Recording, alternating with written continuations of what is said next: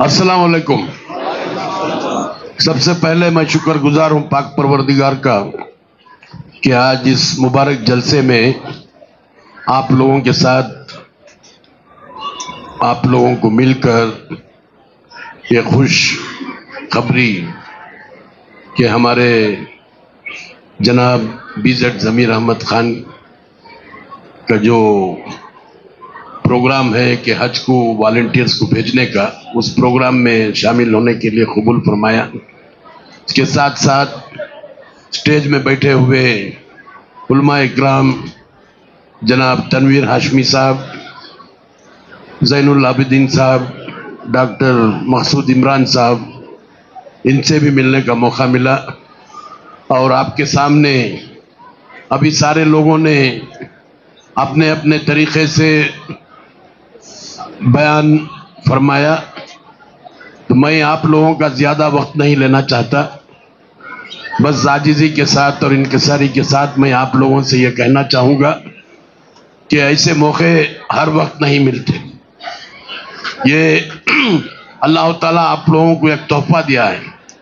اللہ تعالیٰ آپ لوگوں کے لیے ایک راستہ کھولا ہے۔ آپ اس کو صحیح طریقے سے استعمال کریں۔ صحیح طریقے سے جو بھی وقت ملتا ہے، حرم شریف میں گزاریں، چاہے وہ مکے میں ہو، چاہے وہ مدینے میں ہو، صرف ہوٹلوں میں مت بیٹھنا۔ جتنا بھی وقت ملتا ہے وہاں پر۔ اگر وہاں پر آپ ایک نماز پڑھیں گے، تو اس کا ثواب ہزار نمازوں کا ثواب آپ کو ملتا ہے۔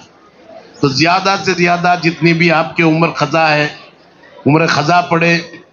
اور زیادہ سے زیادہ آپ نماز پڑھ کر آپ کے مرحومین کو بخشائیں۔ نماز پڑھ کر آپ کے خاندان والوں کو بخشائیں، اس سے کافی فائدہ ہوگا۔ اور اس کے ساتھ ساتھ جو ہے، خاص کر آج کل ہندوستان کے حالات ٹھیک نہیں ہیں۔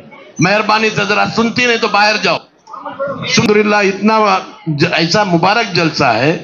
یہ جلسے میں جب آ کر رہی چند لوگ پانچ منٹ سننے کے واسطے کیا ہے ابھی تمہیں لوگوں کو؟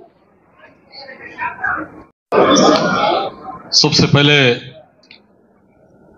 حج تو آگے ہے۔ اس سے پہلے جتنے آج کل پرسوں عمرہ کو جا رہے ہیں، میں سبھی کو بہت بہت مبارکباد دیتا ہوں۔ اور خاصی ابھی ہمارے مولانا تنویر ہاشمی صاحب بھی بات کیے ہیں اور مولانا عمران بھائی بھی بات کیے ہیں۔ اور اس پروگرام میں ہمارے نصیر بھائی ہے زمیر بھائی تو آپ پورے کرناٹک کا بچہ بچہ جانتا ہے۔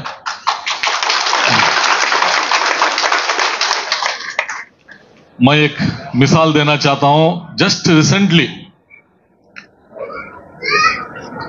کئی سالوں سے تو عمرہ کو، حج کو آپ غریبوں کو اور کئی موزنس کو پیشمام کو، ورکرز کو بھیج رہے ہیں۔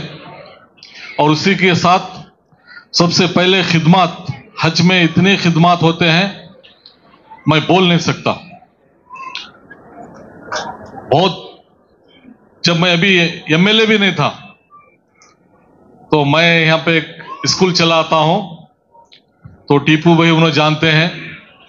کہ میرے اسکول کے کچھ دو چار چھ بسس ہمیشہ حج میں منگاتے تھے، پندرہ بیس سال سے کنٹینیو تو میں اسی طرح ضمیر بھائی کو جب وہ منسٹر تھے، میں اسٹیج پہ ملا تو ٹیپو بھائی تھوڑا سا انٹروڈیوشن کرائے۔